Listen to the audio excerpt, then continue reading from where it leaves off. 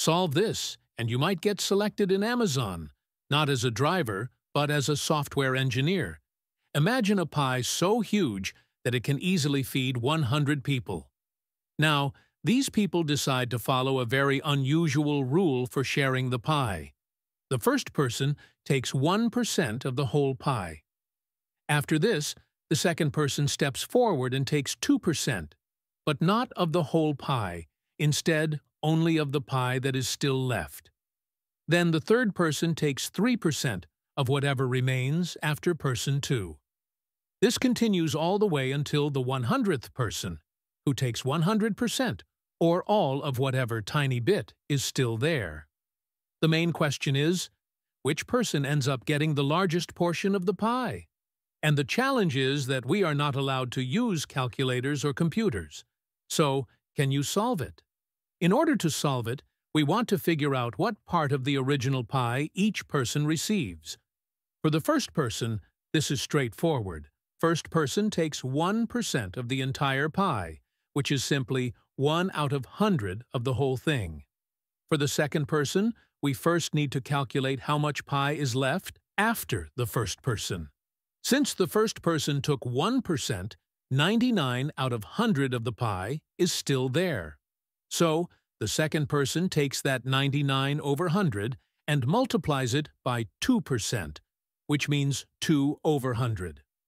Next, we move to the third person.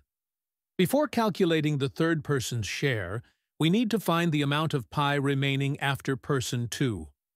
That leftover amount will be 98% of 99 over 100, or this multiplied by 98 over 100. Once we have that, the third person takes 3% of this, or 3 over 100 of that leftover pie. By now, a clear pattern starts appearing.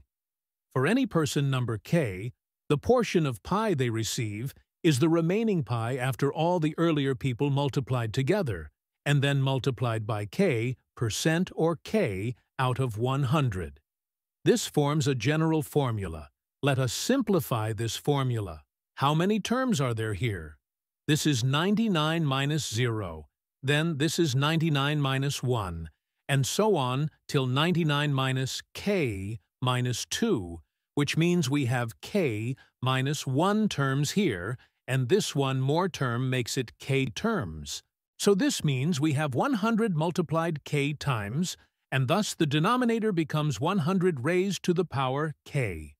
Let us separate this k over 100 raised to the power k. OK, now multiply and divide the following terms. 99 minus k minus 1 times 99 minus k, and so on till 1, which is 99 minus k, minus 1 whole factorial. So the denominator is this, but the numerator is nothing but 99 factorial. Now expand this denominator to get 100 minus k factorial. So after simplification, person k, which we will label as a subscript k, gets this much pie. Next, to understand whether the slice of pie sizes are growing or shrinking from one person to the next, we look at what the next person, or person k plus 1, receives. We write the expression for person k plus 1 exactly the same way by just writing k plus 1 in the formula. Now we compare the two shares by dividing the share that person k plus 1 gets by the share of person k. This comparison tells us whether the slice keeps getting bigger or whether it starts getting smaller. First of all, let us group the like terms together like these two, then these two, then these two, and then finally these two. 99 factorial disappears. Now, 100 minus k factorial becomes 100 minus k times this factorial. So we have 100 minus k in the numerator. Now this becomes 100 raised to k times 100, and thus this cancels out. Now comes the key idea. The slice for the next person k plus 1 will be bigger only if this entire fraction is greater than 1. So we form an inequality saying that this fraction should be greater than 1. All the terms involved are positive, so we can safely cross-multiply and then simplify it. On expanding it, we get this. 100k gets cancelled out, and we get 100 greater than k square plus k. So we get a clear condition. The slice grows larger as long as the quantity k squared plus k is less than 100. k, or the person numbers, are whole numbers starting from 1, 2, 3, and so on. If we try values, we find that this inequality holds for k from 1 up to 9. But when k reaches 10, this becomes more than 100, and the inequality fails after that. So for k equals 9, we get a of 10 greater than a of 9. But for k equals 10, we get a of 11 less than a of 10.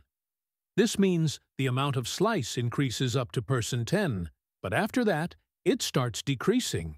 Therefore, the person who gets the largest slice is person number 10. And that's our answer. Now, just out of curiosity, we can also compute the exact share of the pie for person 10. After simplifying, the final value turns out to be around 6.28% of the whole pie. As a fun coincidence, this number is very close to the quantity 2 times pi divided by 100. So this means that we started with 1 pi and wound up with 2 pi. Like, share, and subscribe. So good.